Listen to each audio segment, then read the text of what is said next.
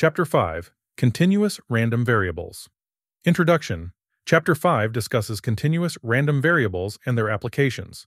It explores the properties of continuous probability distributions, such as the probability density function and the cumulative distribution function. The chapter also introduces various examples of continuous probability distributions, including the uniform, exponential, and normal distributions. Understanding continuous random variables is essential for making informed decisions and understanding uncertainty in fields such as finance and statistics. Learning objectives. By the end of this chapter, you should be able to 1. Understand the concept of continuous random variables and their applications. 2. Calculate probabilities using the probability density function and cumulative distribution function. 3. Identify and analyze different types of continuous probability distributions, such as the uniform, exponential, and normal distributions. 4. Apply calculus techniques to find the area under the curve for probability density functions. 5. Interpret and analyze real-world scenarios using continuous random variables and probability distributions. Key points. Continuous random variables can take on any value within a range and are typically measured rather than counted. The probability density function, PDF, describes the likelihood of a continuous random variable taking on a specific value. The cumulative distribution function, CDF, gives the probability that a continuous random variable is less than or equal to a certain value.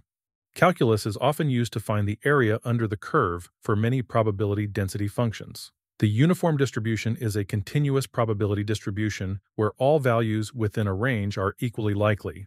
The exponential distribution models the time between events in a Poisson process. The normal distribution is a widely used continuous probability distribution that is symmetric and bell-shaped. Real-world application. One real-world application of continuous random variables is in the field of finance. For example, the stock market is often modeled using continuous random variables.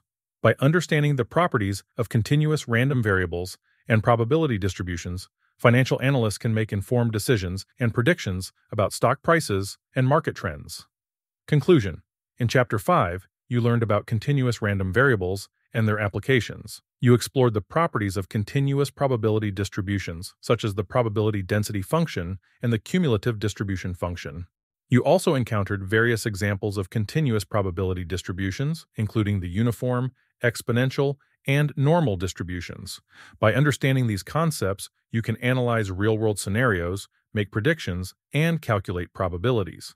Whether you're studying finance, statistics, or any field that deals with uncertainty, the knowledge of continuous random variables is essential for making informed decisions and understanding the world around us.